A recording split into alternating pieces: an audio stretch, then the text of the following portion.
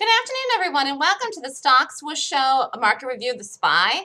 There was a minutes out today at 2 o'clock, so I thought I'd review this. The, the market's going to close bullishly today. I did think that that would play out that way this morning when I knew the minutes were going to happen. I said there's one of two things that's going to take place in the minutes today. When I was reading this chart before anything even happened, before the open, I said it and then it just was confirmed into the day's trading. I said that the market is either going to do one of two things after the minutes, either rally over the high, continue crazy like over the high, or come down, do a bottoming tail into the minutes and still close bullishly on the day. And I said the tail could actually be big. As it turns out, the tail wasn't even big. Tail was not even large that it made. Um, fl flashed down quickly then in the minutes and then rallied up and we're closing bullishly today with a nice bottoming tail the fact that the body is red uh, is not that significant here today. So the first reaction was up, then down. Never broke the low, the low the market had set in the morning, even when it broke down in here, and then it held in here very quickly. And we actually could still even close with green. It's going to be very, very tight. Market closes in like 16 minutes here, 15 or so the market's holding very bullishly. And I, I know that everyone thinks this is we're coming in, but it, we're honestly really not going to. I just don't see that even happening at all, actually. And it could have happened, but and if it had, we'd still be bullish. But and if we had, we still wouldn't have crashed, which we're not going to do. The market is not going to crash. The market is higher. The, everything that's happened here and transpired is lifting the market. It's new money coming to the market, and that means new buying. And that means if it's new buying, it's institutional money or power money buying the market up, and it's not going to take an immediate exit once it just took an entry. So that's really the correct way to look at this positioning. I did a swing trade letter on this. The second letter was on the SPY, and it was a good call.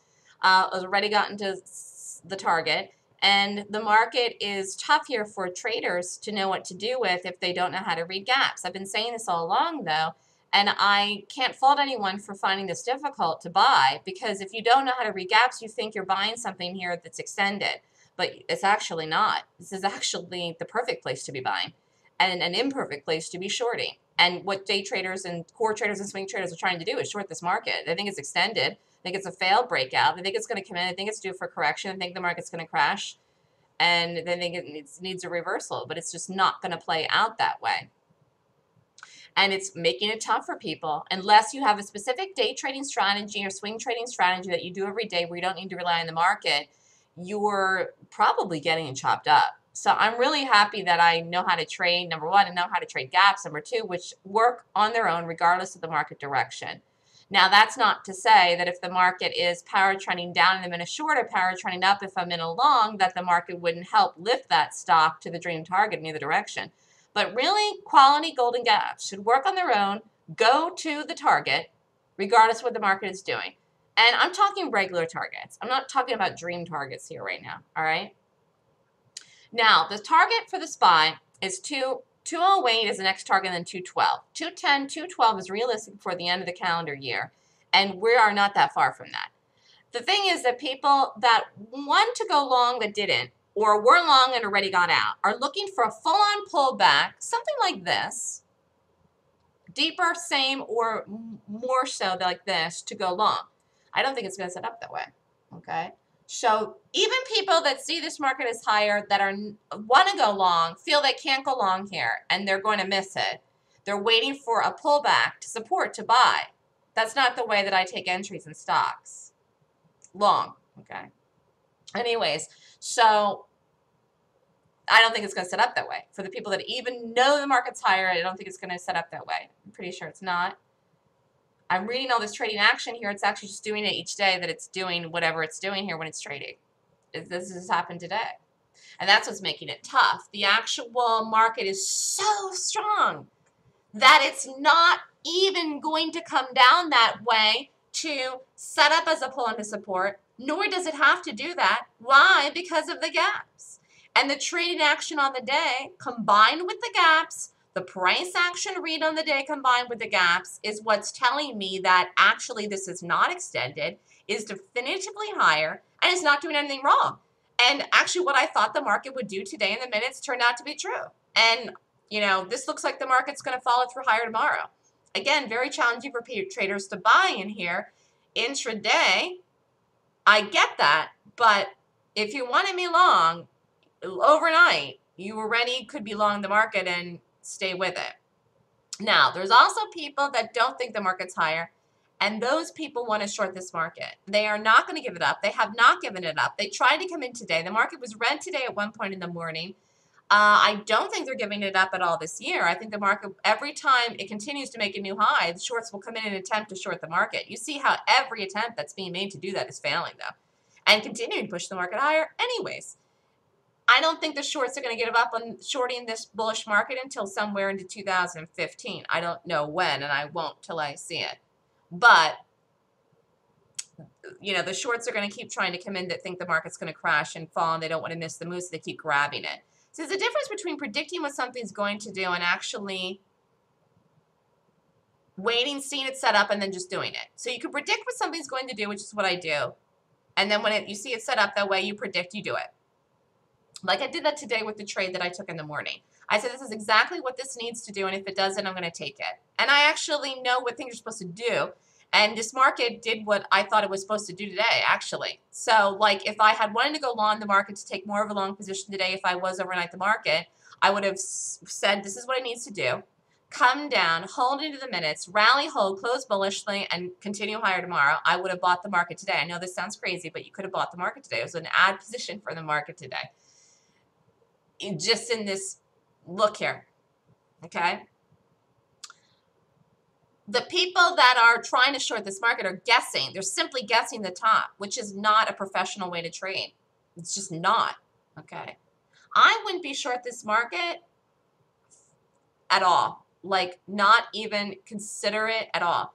And the fact that people are so convinced that that it is going to come in and fall and drop actually helps give me conviction of the fact that it's going to continue higher because professionals would never read this market that way. Never, never, never, never, never in a thousand million years.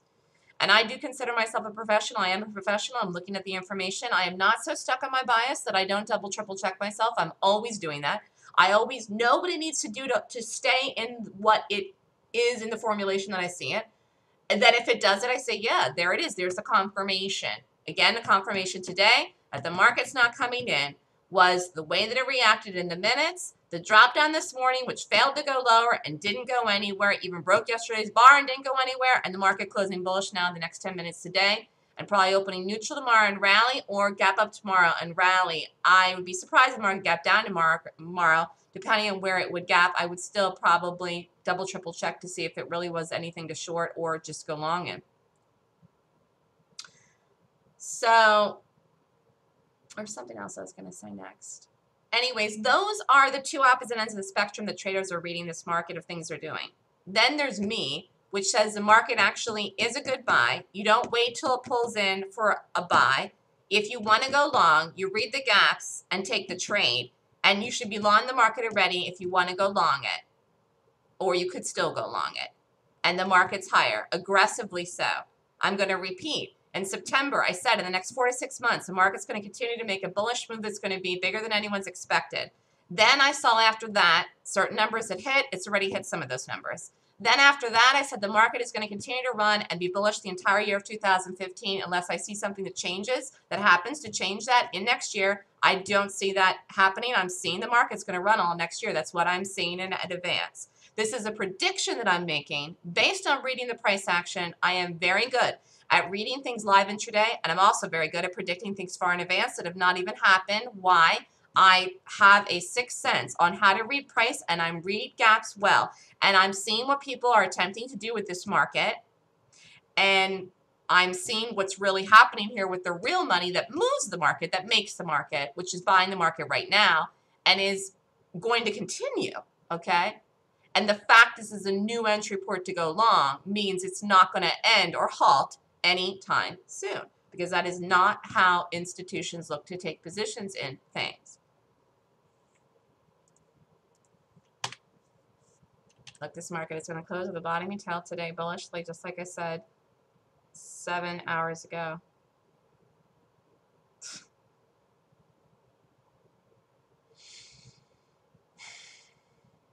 And this is a great call. I just been calling this market so well.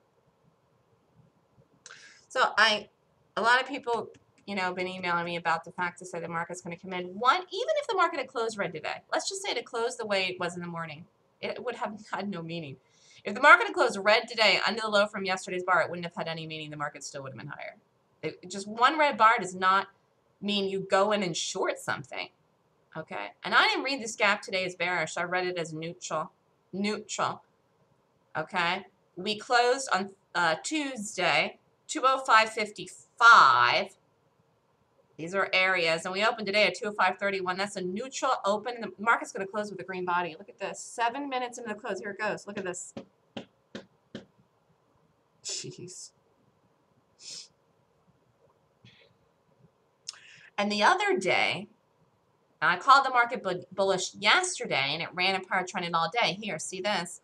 The other day, in the morning here before the pre-market, I said one of these days this week, the market's going to have a crazy, crazy, crazy big green bar. Now, we did power trend on Tuesday, and we did have a nice rally, and we did have a big move and a big bar and up to the next number, 206 or thereabouts. But, you know, I'm still seeing a massive green bar that is somewhere going to get going here. It that bar that I'm seeing hasn't really totally gone yet. and someone had emailed me that yesterday's bar, bar trading the power trend was a failed breakout. There's nothing failed about this. The market rallied all day and power trended up. You can count the red bars in the 15-minute chart in this market until the close. That's not a failure of anything. It's a it's a continuation follow through of a bullish market that's getting bought. There's no failed breakout. There's no failed anything. That's real. That's as real as the Manhattan skyline I'm sitting looking at right now I'm out of my apartment in the George Washington Bridge. It's real as all get out, along with the strength in this market. Look how strong this market's going to close today. Look at this. Let's just see where it closes. Market's going to make an attempt to close over the high. High uh, on the minutes was 205.55. One of the things that experience has taught me, and this is something I don't know how to teach people. I'll probably figure out how to teach people this at some point because usually what happens is I see something, I figure it out. Then I don't know exactly how I know how to do something. And then eventually I formulate it in a way that I can intellectualize it to people to teach in a class or speak it. But I do know what things need to do to set up what they need to do. And I see them. And I did that today in the short with the CLF. And I I saw this year the way the market needs to set up to continue higher too, and it did it down into the close. So I do know what things need to do to be correct. I don't know how I know that though. This is above and beyond the gap rating that I know to rate the gaps for the directional bias and the targets and the entries. This is something else, which helps you make sure you see what you need to see before you take the setup. For example, like if I had wanted to go long in the market today, I would have gone long in here. now, I didn't, but I'm saying if I had wanted to, or even the low in here at this reversal time right around lunch at 11 o'clock with the bounce. Because I just knew we weren't going anywhere with that today. And I wouldn't be surprised if people shorted this market today, have a stop over the high of yesterday's bar, think that that's made a top, it doesn't play out, and the market rallies and falls through higher tomorrow. I won't know until I see the gap in the morning. I just will not know because I read the gap from the morning. And that's how I see what we're doing.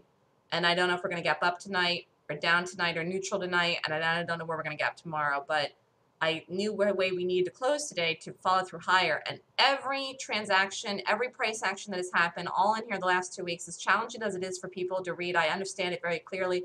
I must say this is market is perfect. When I look at something and I say, oh, this is perfect. It's perfect. It seems like something that's hard to read or hard to trade, but as far as I'm concerned, in reference to the way this is playing out, it's absolute power of strength, a pillar of strength, and it's perfect in my mind, in my eyes, the way I'm reading it. And, you know, people aren't going to give up shorting it. And every time someone emails me that they think it's lower, it just helps strengthen my conviction that it's not. So it is almost 4 o'clock. Market's going to close very strong today. We'll see where it goes. SPY is bullish. I don't know where we're going to gap tomorrow. We'll see. All the targets set out there are still in play. Everything looks good for this.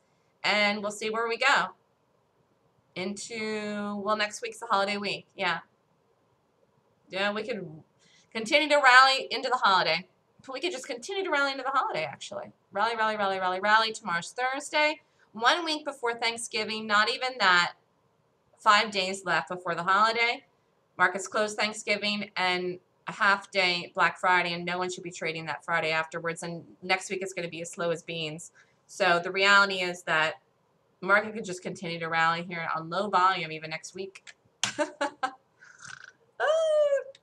This is Melissa with the StockSwoosh.com. If you'd like more information on the next Golden Gap class, it's this weekend, November 22nd and 23rd, where you can learn the rating system from me, learn how to take the entries, learn support and resistance, and how to read charts properly for directional bias. And if you learn gaps from me, you would never short this market. I, there's no one in the room that short this market, that trades with me every day, that's here's what I say every single solitary day about this market, and then turns out to play out the way that I say it. There's no one that is questioning that at all that has been with me now for any length of time or taken the class. So I think understanding gaps helps you in so many different things. Trading the market, trading things opposite the market, ETFs, reading gaps in stocks, doing stocks if you want to do options for the directional bias in something, swing trading, core trading, day trading. There's just so many different things you can do with the rating system that I created. I never created it for anything other than myself to day trade gaps. And now here I am. The system has so many uses and so many people are doing so many different things with it and you can do different things with it. Why? Because it really, really reads power of money in stocks in the market, and that is a powerful, powerful thing. People ask me about the cost of the class, I, I chuckle because the stuff that I teach in the class is invaluable because no one else is teaching it. It is so important to understand how to read a stock or the market. There is nothing more significant in any chart in existence in the U.S. stock market other than gaps to read price it is a reason that I've called this market accurately and can see how things need to set up and trade and the directional bias for them and the entries and reading support and resistance right. And everyone I think that day trades needs to learn how to read gaps. And people that don't will continue to only buy into support and short into resistance and see a 50-50 or less than that uh, basically profitability, which is not enough to pay yourself or make any real money. Look at that little bar that just happened there. I shouldn't say a little. Look at that beautiful little there, that was the close. Almost here, look. Look at that.